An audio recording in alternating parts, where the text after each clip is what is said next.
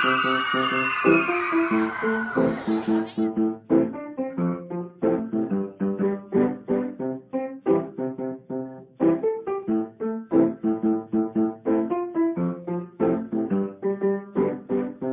guys, are you getting excited for Christmas? Because I am. I love Christmas and I love making people gifts. Today I'm going to teach you how to make this gift. This is a super cute cell phone case so that when you put your cell phone in your purse, you don't get it scratched up with coins and sharp objects and other items that are miscellaneous in there. At the end, you can actually customize it with a really cute bead chain and a charm, whatever you would like to put on there. So it's perfect for someone that's in your family or your friends and they'll love this gift. It's awesome. To make this phone case, it's super easy. You only need a few materials. You need a hot glue gun, which you gotta be careful with because it gets super hot and you don't want it on you. With some extra glue sticks. You'll need a pair of scissors. You'll need a packet of bobby pins. You'll need a cup. This cup has to fit your phone in it, so make sure your phone fits right in there. And you'll need a thing of yarn. So I got colorful yarn so that it looks rainbow pattern. And you'll need a hook. You can get these at any kind of craft store. If you can't find a hook, you can also bend a bobby pin and use that as a hook, but these are way easier to use. The first step to make your super cute foam purse is to warm up your hot glue gun and get out your cup and your bobby pins. And then you're going to place the bobby pins along the outside edge of the cup with the flat part facing the outside. So the flat part of the cup, the bobby pin is along the outside of the cup. And you're going to keep on placing bobby pins around the outside edge about an inch apart, like so.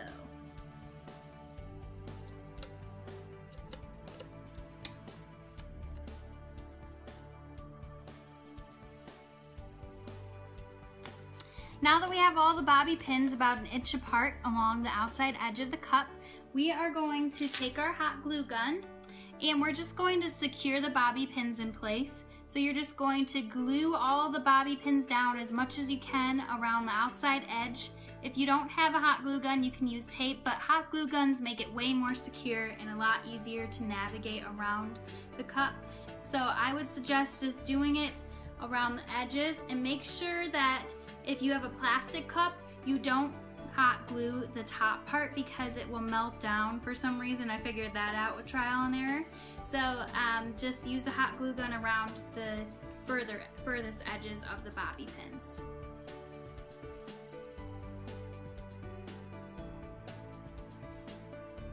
Now your cup is all ready. It's going to look like this. It doesn't need to be pretty, so don't worry about that. Just make sure that the glue is all dried and everything is secure. So check every single one and make sure they're secure. And then you're going to get out any old straw from your kitchen and you're going to cut a piece of it off.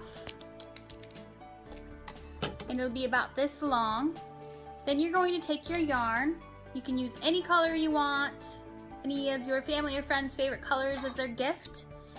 And you are going to string the yarn through the straw and this is actually going to make it a lot easier to loop the yarn around the bobby pins. To start your foam purse, you're going to take your yarn with a straw on it and you will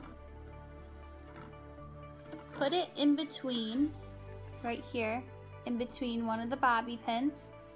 And you're just going to leave about uh, this much yarn left over to begin with. And then you're just going to take the yarn and loop it around each bobby pin like this.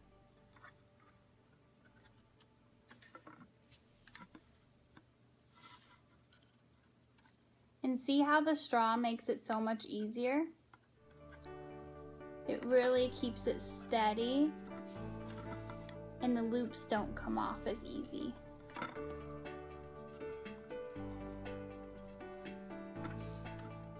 Make sure that your yarn is still on the roll this whole time.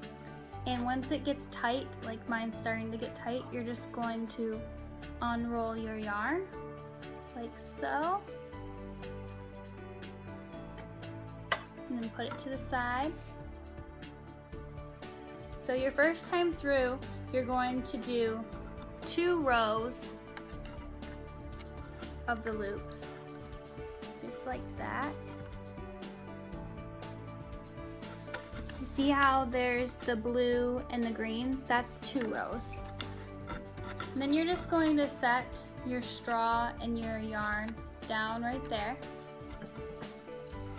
And you're going to take your hook and you're just going to pull the bottom loop over top of the top loop. So just like this. See how it went right over? And then you're going to continue that all the way around. So continue the process over and over again all the way around so that everything is looped in and connected. Now that all of your loops are connected and you went through the whole thing, you're going to take your straw and yarn and you're just going to go around in the loops again just like this set it to the side once you get to the ones that are already looped. And you're going to repeat the process of pulling up with the hook on the loops and pulling them over the bobby pin.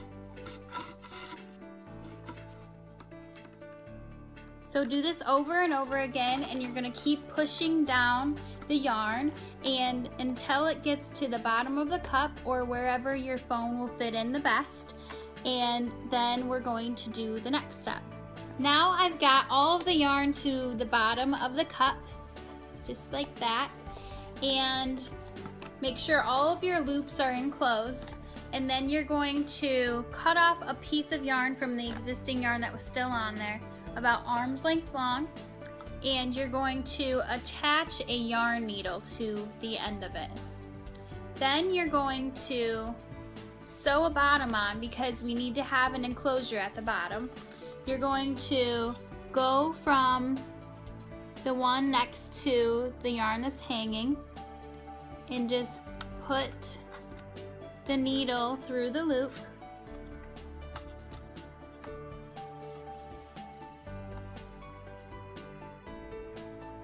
like that. And then you're going to go to the one next to it.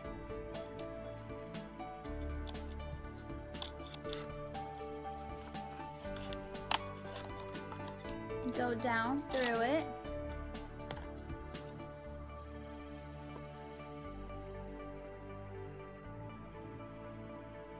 And then to make the enclosure, you have to go from every other one.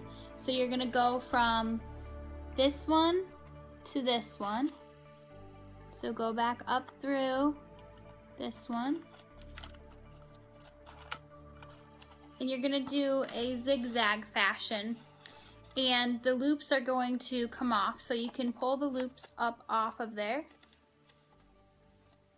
And then you're just gonna skip this one and go to this one.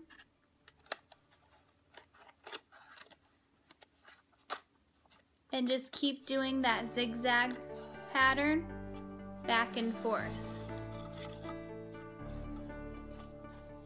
So I've only got a couple left to do, but it's gonna look something like this when you're getting close to done. Then you're just going to keep on doing the zigzag pattern from one bobby pin through the loops. And it's okay it comes off the bobby pin. That's what it's supposed to do. and then into the one that's across from it on the other side. So in the zigzag pattern. So once you have your final loop, you're just going to pull out the purse and it looks really cool already. And you're just going to pull this string as tight as possible. So just keep pulling it.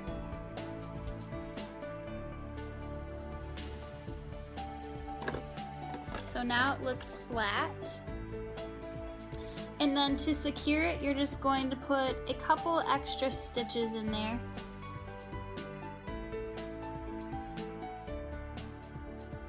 So it looks like that. Then you're going to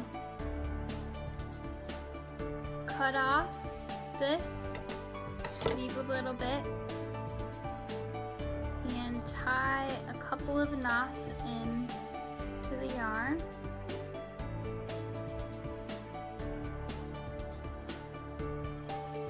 Now, I usually like to flip it inside out, so it looks a lot prettier.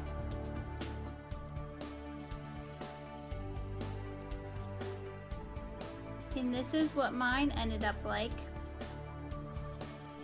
So it's really pretty. You can make a bunch of different colors and you can decorate it with charms on this piece, which is what I'm about to do. And you can put beads on there as well. Okay, so now it's all finished. I put some beads on the end and this really cute leftover sun charm that I had. And this was super easy to make. It's a little time consuming to get all of the loops wrapped around and everything, but it's well worth it and it's a great gift for someone. They can also use it as a change purse or a lip gloss purse, whatever they would like. And make sure if you make this today, you post a photo of it below so we can see what yours looks like.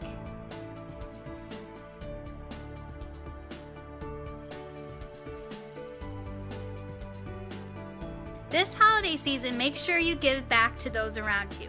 Just because you can't do something huge for someone doesn't mean that a small gesture of kindness doesn't make a big impact. Try to make at least five people a day smile. So go to the grocery store, walking down the street, when you're family or friends, and try to make at least five people smile. Not only does it make your day better, but it brightens their day more than you could ever imagine.